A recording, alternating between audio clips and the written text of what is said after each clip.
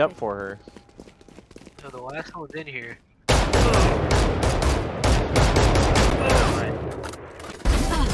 You should have been looking more